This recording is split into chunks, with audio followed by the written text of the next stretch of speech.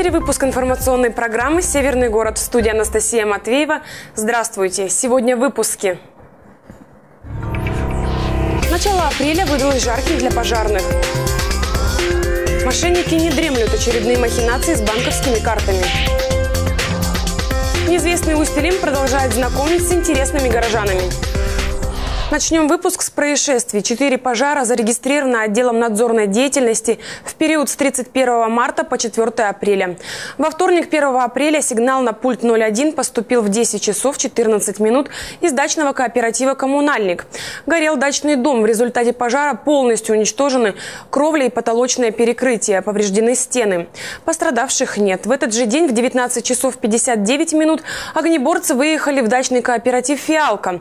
На одном из частных участков участков загорелась баня. Огонь полностью уничтожил кровлю строения. Человеческих жертв и травмированных нет. 3 апреля пожарные выехали по тревоге в дачный кооператив «Лесники», где произошло возгорание дачного дома. Кровля и потолочное перекрытие уничтожены полностью, повреждены стены. К счастью, никто не пострадал, еще одно возгорание произошло 4 апреля. Во втором часу ночи наряд пожарных выехал на проспект Дружбы народов 54, где загорелся автомобиль Toyota Карина 1991 года выпуска. Огнем уничтожены все сгораемые части машины, пострадавших нет.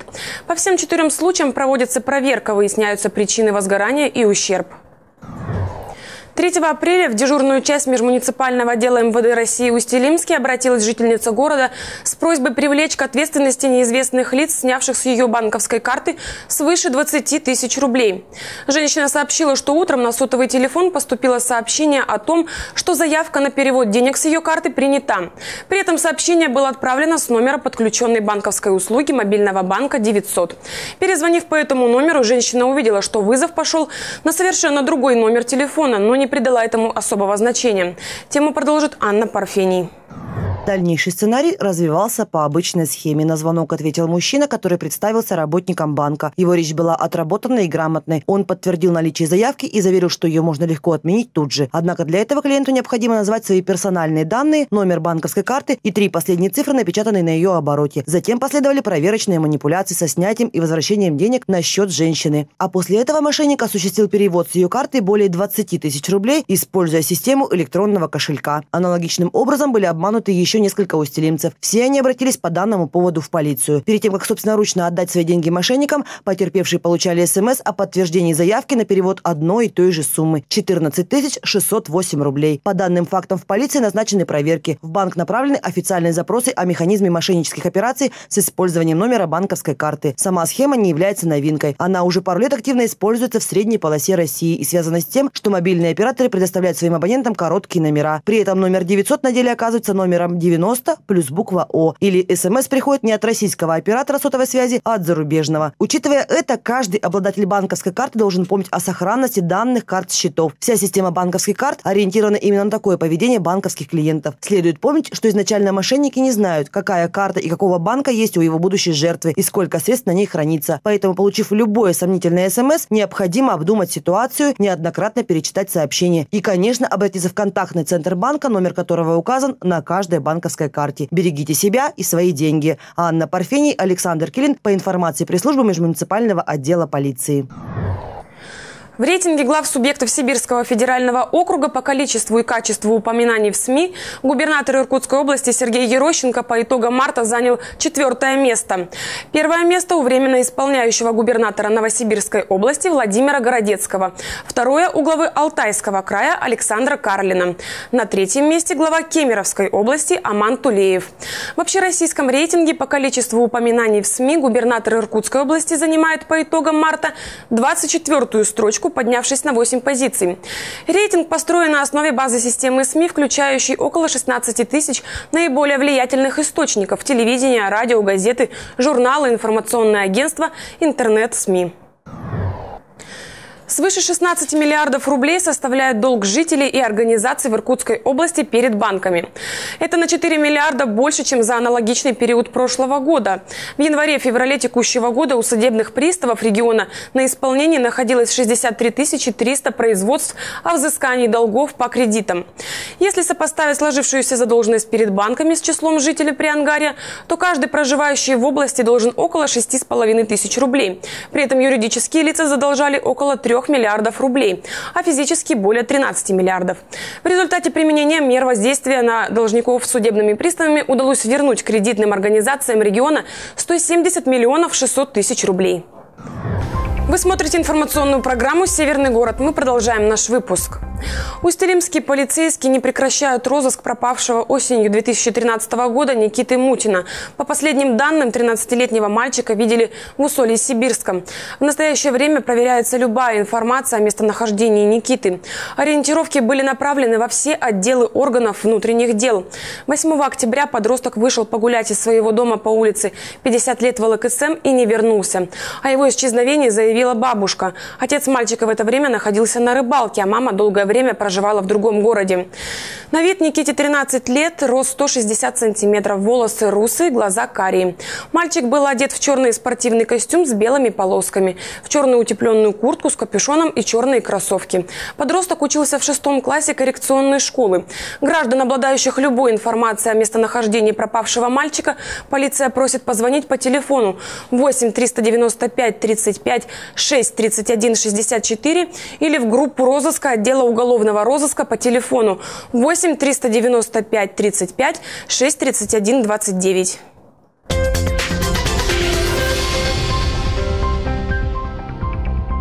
Прошлую пятницу в рамках рубрики «Неизвестный Устелим» мы рассказали о женщине, чья безграничная любовь к четвероногому питомцу подтолкнула ее к освоению необычных навыков. Наша героиня Светлана Томашевская мастерски обращается с ножницами, но стрижет не людей, а собак. На этом ее умения не заканчиваются. Тему продолжит Елена Лементуева. Если у человека есть хобби, это хорошо. А если оно помимо морального удовлетворения приносит еще и достаток, лучше вдвойне. Пожалуй, о такой работе мечтает каждый. Нашей героине повезло. Однажды, освоив мастерство стрижки на своей собаке, она начала практиковать его на других. Благодаря ее профессии многие домашние питомцы имеют возможность посещать так называемый салон красоты и выглядеть отлично до кончиков когтей. Но стрижка собак, признается Светлана, дело сезонное. Зимой особенно когда у нас морозы, люди предпочитают животных своих не стричь. Но, чтобы не остаться без работы, я нашла выход. Я придумала себе еще одно занятие. Я шью собакам одежду. И вяжу собакам одежду. Бест всегда одет по погоде. Например, на случай ненастья у него есть замечательный костюмчик, в котором без стресса для хозяев он может вдоволь порезвиться. Вот именно этот комбинезон предназначен для того, чтобы сберечь золотистую шерсть Бестика от грязи, от сырости, от влаги. Это увеличивает количество его прогулок, потому что он имеет возможность чаще гулять, потому что дома не приходится после каждой прогулки тщательно промывать ему живот, э, хвост и так далее, только лапки, что в принципе не является сложным. И он изготовлен из плащевки, э, что тут есть? Для украшения светоотражающая лента. Моднику Бесту такой костюмчик по душе. Учитывая подвижность собак, одежда для них, конечно, должна быть удобной. Плюс ко всему нужно брать во внимание физиологические потребности четвероногих любимцев. Поэтому с каждого клиента Светлана обязательно снимает мерки. Каждая собака индивидуальна, потому, поэтому на каждую собаку я снимаю мерки, потом делаю примерку. И только после этого можно будет говорить о том, что все завершено. Затем иногда бывает такое, что во время носки в движении у собаки что-то мешает, да, приходится немножечко подделывать, делать шаг назад, все перепарывать, все пересматривать и переделывать. А дизайн одежды – это совместная работа Светланы и владельцев собак. Работа кропотливая, но зато как приятно видеть любимцев, щеголяющих в красивых костюмчиках. А вот Тихон – обычная дворняга, но ему есть чем поразить прохожих.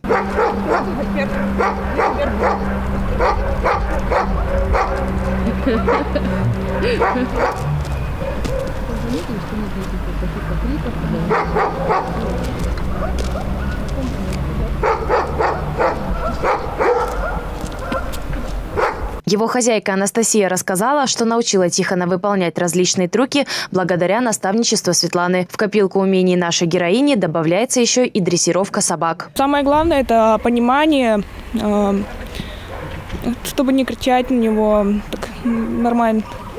Хорошее отношение, чтобы было. Полноправными членами семьи Громовых являются два красавца, золотистые ретриверы Бест и Филя. Они – настоящая гордость хозяев. Например, Бест регулярно принимает участие в выставках. Принимал участие где-то в девяти выставках. Он становился лучшим представителем породы среди юниоров. Э, был лучшим победителем класса. Младшему Филе всего год, но ему есть чем гордиться. Будучи еще щенком, он принимал участие в выставке, где был признан лучшим бейбиком. В выставке, которая была недавно в Иркутске, тоже он становился лучшим юниором среди кобелей и даже был признан лучшим юниором среди собак данного возраста.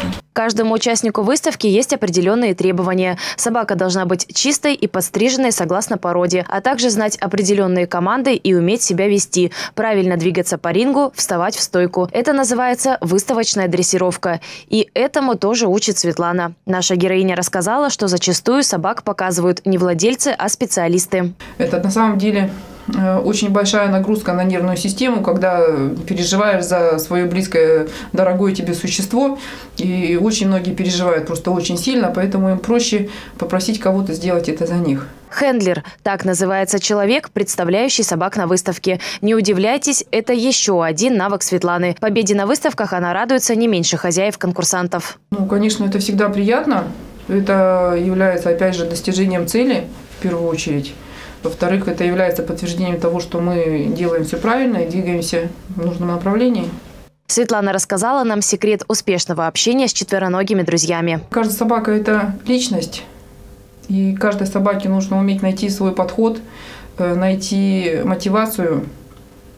Вот. И это э, своеобразное развитие и меня, и собаки, и людей, которые приходят с собаками. Это и общение – и, конечно же, когда видишь, что собака и человек начинают понимать друг друга, и вместе становится жить комфортно, вот это всегда очень радует. Эта история наглядно показывает, как большая и искренняя любовь к своему питомцу может перерасти в стремление преображать других и стать профессией. Елена Лементуева, Дмитрий Белозеров. Информационная программа «Северный город». В завершении выпуска обзор культурных событий на выходные дни. 5 апреля в 15 часов в Краеведческом музее состоится встреча с первостроителями трассы Братск-Устилимск «Судьба моя дорога». 6 апреля школа искусств номер один в 12 часов приглашает на фестиваль детских хоровых коллективов в «Солнечный круг» в рамках городского открытого фестиваля детского и юношеского творчества «Надежда-2014». На этом выпуск нашей программы подошел к концу. Звоните в редакцию по телефону 6 23 55. Делитесь интересными событиями и впечатлениями. Хороших вам новостей и отличных выходных.